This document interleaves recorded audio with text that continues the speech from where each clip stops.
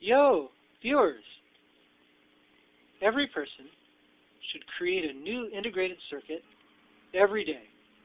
Then once a month, they should pick the integrated circuit that they like the best out of those that they have created to actually make, to fabricate, then test, and possibly use.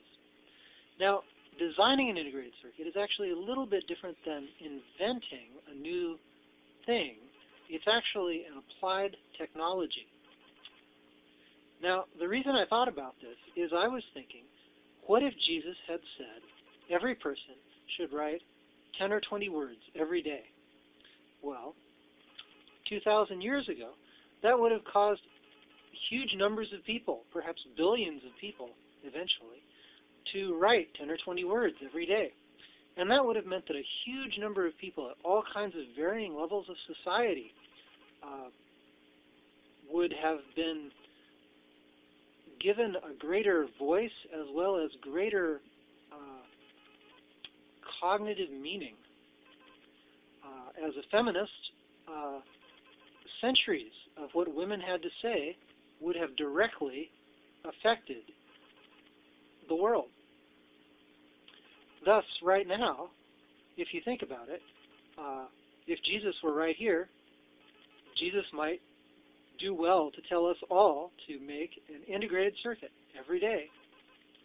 Here's why. It's actually a lot easier to learn how to make an integrated circuit than to read and write English. Uh, I'll give a few uh, things that I've thought of during the past 24 hours.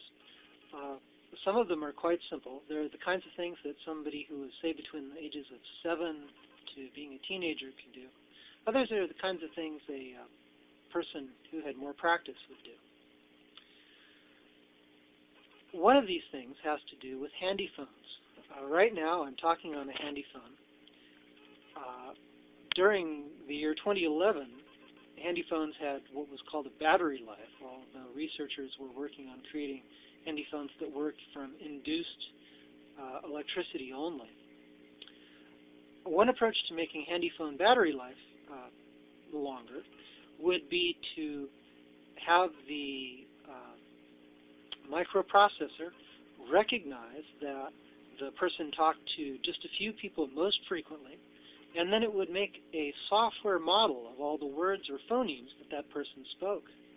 And then rather than talk to the uh, transmission tower to receive the entire content of what the person was saying, they would just go for the difference between the standardized phoneme and what the person actually said. And perhaps that would mean that only a tenth as much material had to be transmitted over the handyphone's radio. That would save electricity, and that would make the battery work longer. Now, to create an integrated circuit that does that, uh, there are some approaches. One approach is to assemble uh, what are called IP cores, intellectual property cores, that other people have already produced that uh, do many of the things already. And then you link those together uh, with buffers and latches and things like that um, to create the preferred effect.